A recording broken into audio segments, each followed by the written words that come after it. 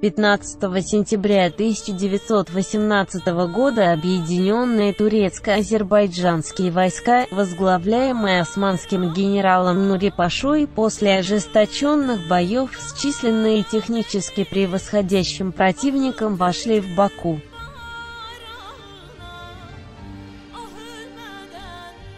Тем самым был положен конец оккупации города большевистско-дашнакским режимом, осуществившим здесь ранее, в марте-апреле 1918 года, страшную резню мирного тюрко-мусульманского населения.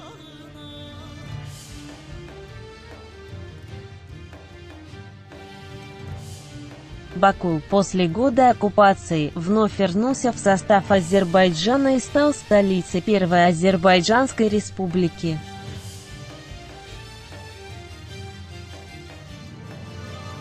Возможно, на первый взгляд, битва за город Баку – это лишь малый эпизод той кровавой эпохи, начала 20 века.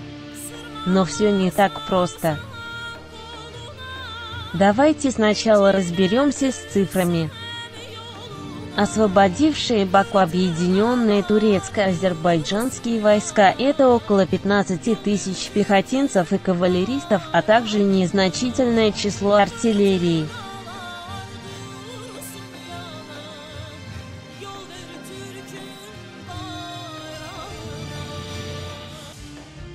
Противник, свыше 50 тысяч живой силы, плюс аэропланы, бронемашины, флот в Бакинской бухте и прочие современные на тот момент технические средства. Как видно, противник одним лишь числом превосходит армию Нури-Паши в несколько раз. Если учесть современную боевую технику, то превосходство противника удваивается. Цифры запомним, но дело вовсе не в цифрах. Дело в контингенте противника.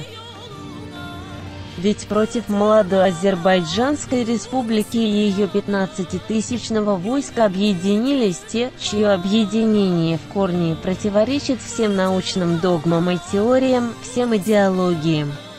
Ненависть к тюркскому миру заставила плечом к плечу в одном окопе сражаться злейших врагов.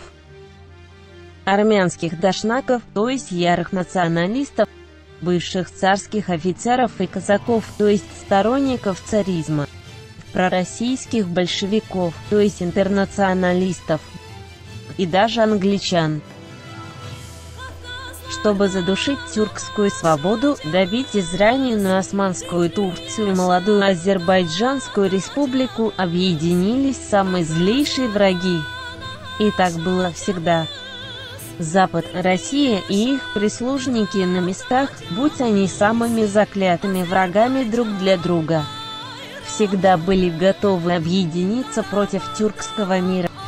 Мы увидели, как против тюрков, когда надо, объединяются самые ярые противники.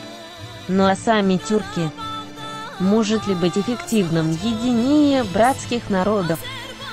Малое числом, но единое духом турецкая азербайджанская армия за несколько часов справилась с превосходящими силами противника. Битва за Баку, тот самый эпизод кровавой эпохи, начала 20 века, наглядно показывающий, насколько могут быть сильными тюркские народы, объединившие свои усилия.